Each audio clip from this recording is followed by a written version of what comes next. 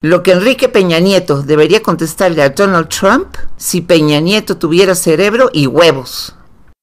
Señor Trump, le escribo para explicarle por qué el muro que propone en la frontera no será de utilidad, ya que muy pronto serán los estadounidenses los que vendrán a México buscando buenos empleos, en lugar de que nosotros, los mexicanos, vayamos a los Estados Unidos. Sucederá de la siguiente manera. Eliminaremos el impuesto sobre la renta en México, tanto para individuos como para las empresas. Limitaremos el gobierno a solo una función, que es la protección de los derechos individuales de los que estén aquí. Un IVA de solo 3% será suficiente para cubrir todos los gastos del gobierno. Le daremos documentos de residencia y pasaporte a todos los que de buena fe se muden a México el peso mexicano volverá al patrón oro, así nunca más habrá una devaluación. Pondremos fin a todo intercambio de información fiscal con otros países, incluido Estados Unidos. Se legalizarán todas las drogas excepto la venta a menores de edad. Se eliminarán todos los aranceles de importación. Si algo es mejor o más barato en otro país, ahí lo compraremos. Estoy seguro, señor Trump, que usted puede prever el resultado de esto. Muchas, si no todas las personas productivas de Estados Unidos se mudarán a México, trayendo su talento y su capital. En lugar de un muro, verán letreros que dicen, Amigo, bienvenido a la libertad. No haremos esto para hacerle daño a usted, sino porque nosotros sí entendemos que las personas productivas que vienen a nuestro país harán que nuestra vida sea mejor. ¿Opina usted que este plan no funcionará?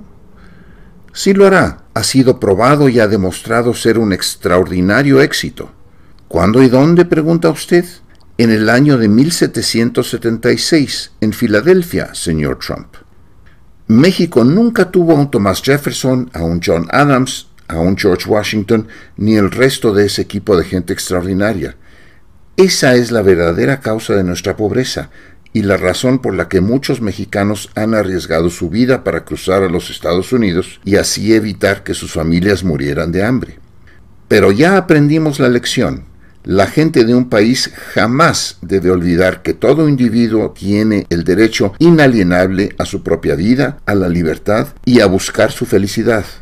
Esto es, el gobierno no debe interferir con su derecho a vivir su vida como prefiera. Esas palabras, claramente escritas en la Declaración de Independencia de los Estados Unidos, produjeron el país más extraordinario en la historia de la humanidad. La tragedia es que muchos estadounidenses no entienden esto. Por eso están considerando para la Casa Blanca a usted, que es un fascista, o a la señora Clinton, que es una socialista, mentirosa patológica y odia a los Estados Unidos y los principios con los cuales se fundó. Es una lástima que no puedan ustedes ambos perder las elecciones. Tan pronto como los americanos más productivos comiencen a cruzar hacia México buscando libertad y bajos impuestos, la economía mexicana florecerá y la suya, señor Trump, la suya se detendrá. ¿Tiene que ser así que México crezca y se haga rico a expensas del talento y el capital de los Estados Unidos? No, claro que no. Podríamos todos prosperar más rápidamente si los Estados Unidos también abre fronteras, elimina el impuesto sobre la renta, legaliza las drogas y vuelve al patrón oro. Sería muy fácil para ustedes. Simplemente actúen conforme a su declaración de independencia. Si usted se pone las pilas, señor Trump, los dos países podemos crecer rápidamente juntos. Si no, creceremos solo nosotros. De cualquier manera, señor Trump, no le conviene construir ese muro, porque a usted no le va a gustar tener que saltarlo por encima para venir al maravilloso México que estamos a punto de construir. Muy atentamente. Versión en inglés en el canal de YouTube México Merece Más.